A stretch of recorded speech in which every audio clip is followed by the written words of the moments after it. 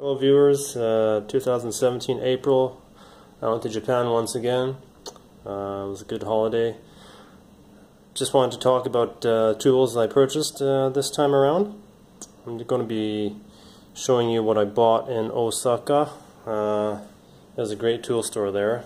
I've mentioned it in the past in one of my previous videos. I'll probably uh, provide a link somewhere on the screen here. the tool store is called Otani. Otani Shoten or Otani Tool Store. Uh, featured on Garage Journal as well. I did a thread on that. So if you want to uh, figure out how to get there, uh, please do follow the link which I'll provide. Um, so Tohnichi Torque Wrench, uh, probably the most famous torque wrench manufacturer in Japan. Definitely the largest market share, I'm sure. When you think of Japanese torque wrench, think of Tohnichi. So this is a QL, QL15N MH. Uh, I just went to the store without really expecting him to carry it, but uh, sure enough, he had it in stock. It's a quarter inch drive from, I believe this was from 2 to 15 newton meters was the range. see. QL15N MH. Uh, that was 3 to 15 newton meters is the range. I've seen and used these before at work. I have some coworkers who have them.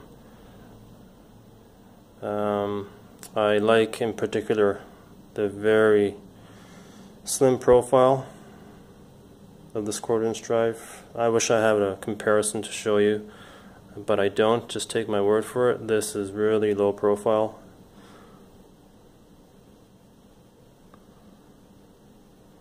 Look at the drive-in right there the anvil.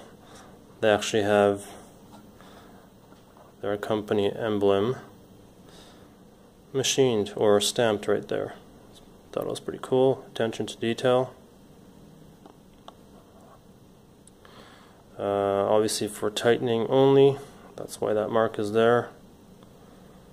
Nice knurling, graduated scales, 0.1 increments.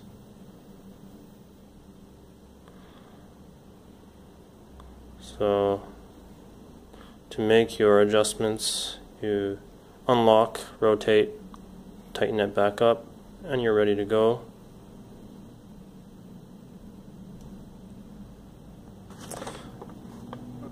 Certificate of calibration. Uh, I'm not going to mention anything in detail here. You can pause the video as you wish. Some product information. Uh, if you want to contact them, feel free to pause that. Uh, pretty good English. Pretty standard stuff that you would see from other torque wrench manufacturers. Japanese and English.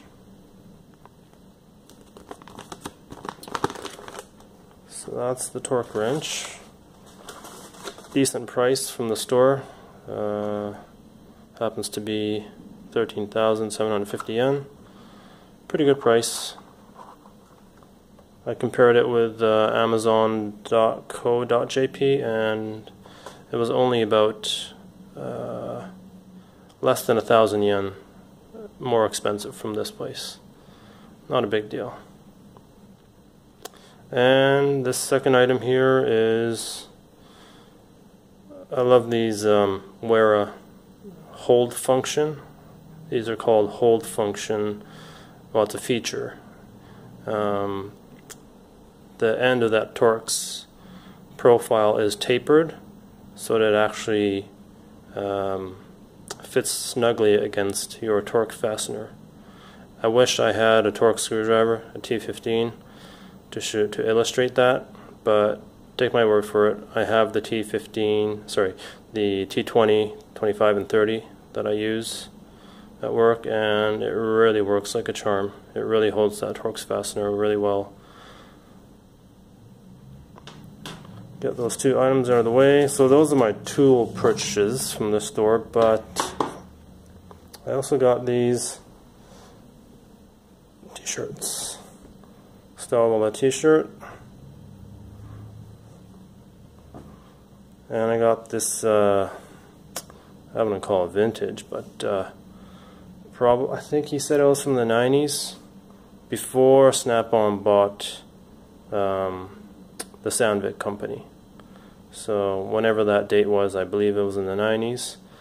So thought it was a cool, pretty cool t-shirt. Uh, their famous Ergo Ergo series. The back of the t-shirt also has their large Ergo sign. And last but not least, uh, Snap-on t-shirt with their uh, date man date codes. He said this was uh, 1985 when this t-shirt came out. And they had up to 94 figured out to be continued. Like my videos to be continued. Thanks guys